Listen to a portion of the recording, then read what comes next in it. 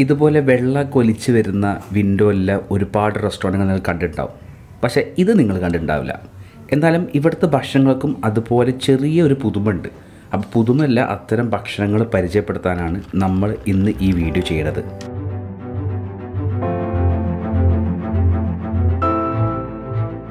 ഈ കഴിഞ്ഞ ന്യൂ ഇയറിന് ഞാൻ കോഴിക്കോട് പൊറ്റമല്ല സ്ലാഷ് എന്ന് പറഞ്ഞിട്ടുള്ള റെസ്റ്റോ കഫേയിൽ പോയതാണ്. അവിടെ പാർക്കിംഗ് തൊട്ടടുത്ത് തന്നെയാണ് ആവശ്യത്തിന് വിശാലമായ വൃത്തിയിലൊരു പാർക്കിംഗ് എക്സ്റ്റീരിയർ സെക്ഷൻ ഉണ്ട് അതും കൊള്ളാം.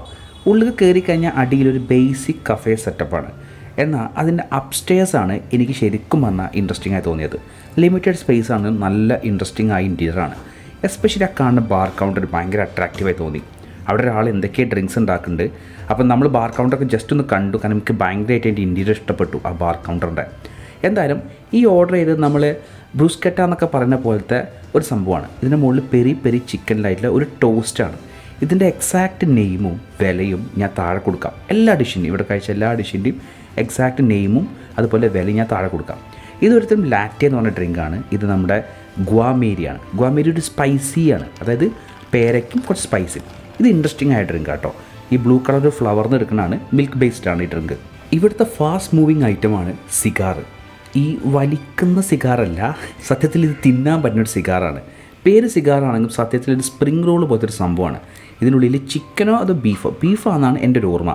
എന്തായാലും പുറത്ത് ക്രിസ്പിയായ കുറേ ലെയേഴ്സും ഉണ്ട്. ഉള്ളിൽ നല്ല ജ്യൂസൊക്കെ ഉള്ള ആവശ്യത്തിന് നല്ല എന്താ പറയുക ടേസ്റ്റിയോട് കൂടിയിട്ടുള്ള മീറ്റും ഉണ്ട്.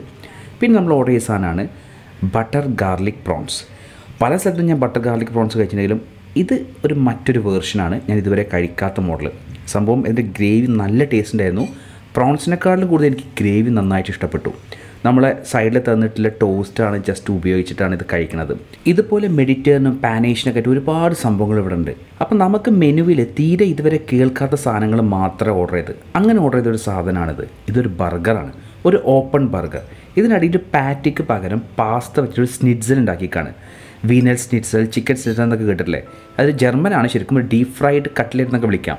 അതിന്റെ മുകളിൽ വെജിറ്റബിൾസും അതുപോലെ മീറ്റ് പാറ്റിയും പിന്നെ നമുക്ക് ക്യൂവേർഡ് മീറ്റും കാരമലൈസ്ഡ് ഓണിയനൊക്കെ വെച്ചിട്ടുള്ള ഒരു ബർഗർ പക്ഷേ അത് ഓപ്പൺ ബർഗറാണ് കാണുന്ന അത്രയ്ക്ക് എനിക്ക് അങ്ങോട്ട് ഇഷ്ടപ്പെട്ടില്ല കാരണം അതിന്റെ പാസ് ബർഗറിന്റെ ഒരു ഫീൽ കിട്ടിയില്ല. പക്ഷേ ഇതിന് മുമ്പ് കഴിച്ച സിഗാറാണെങ്കിലും അതുപോലെ തന്നെ നമ്മുടെ പ്രോൺസ് ആണെങ്കിലൊക്കെ എനിക്ക് ഒരു നല്ല ടേസ്റ്റ് ഫീലായി ഇത് കുറച്ചൊരു ഹെവി ഉണ്ട്. ഇനി വേറെ കാര്യമുണ്ട്. ഞാൻ ഇതിപ്പോൾ ഒരുപാട് സംഭവങ്ങൾ കഴിച്ചിട്ട് കഴിക്കണോണ്ടായിരിക്കാം. അപ്പോൾ ഞാൻ ഈ ബർഗറിന്റെ സത്യത്തിൽ പാർസൽ ചെയ്തത് ഇത് ഞാൻ ആദ്യം ഓർഡർ ചെയ്ത മറ്റൊരു സാധനമാണ് ബേക്കഡ് ചിക്കൻ ഒരു ഹാഫ് ചിക്കൻ ഇവർ ബേക്ക് ചെയ്തിക്കാണ് അപ്പം അതിന്റെ മുകളിൽ ഒരു സോസ് ഉണ്ട്. സൈഡിൽ നമുക്ക് വെജിറ്റബിൾസ് ഉണ്ട്. സുക്കീനി അതുപോലെ തന്നെ മാഷ്ഡ് പൊട്ടാറ്റോ അടിയിൽ തന്നിട്ടുണ്ട്. അതുപോലെ ഒരു പൊട്ടാറ്റോ ബേക്ക് ചെയ്തും തന്നിട്ടുണ്ട്. എന്റെ ഒരു അഭിപ്രായത്തിൽ സ്ലാഷ് ഒരുപാട് എക്സ്പെൻസീവ് അല്ല.